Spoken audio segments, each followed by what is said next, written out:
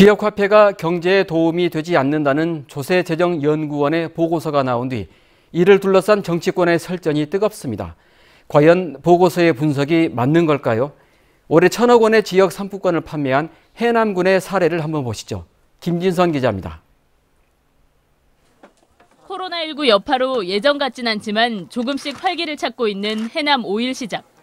장을 보러 나온 손님들의 지갑에서 어렵지 않게 지역사랑 상품권을 찾아볼 수 있습니다.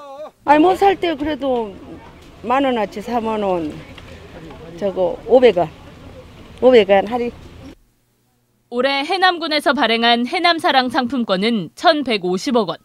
이 중 90%인 1,043억 원이 팔렸습니다.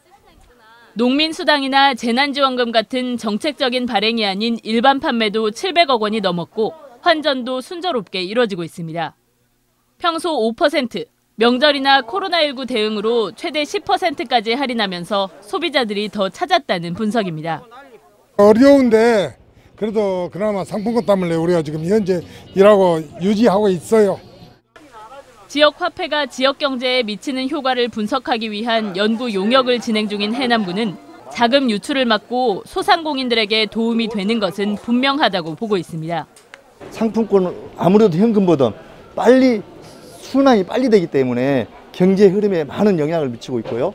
또 저희들은 국비를 70억을 받아와서 그 70억을 국민들에게 소상공인들에게 혜택을 드리고 있기 때문에 올 들어 전남 각 시군에서 발행된 지역사랑 상품권은 8월 기준 9,050억 원.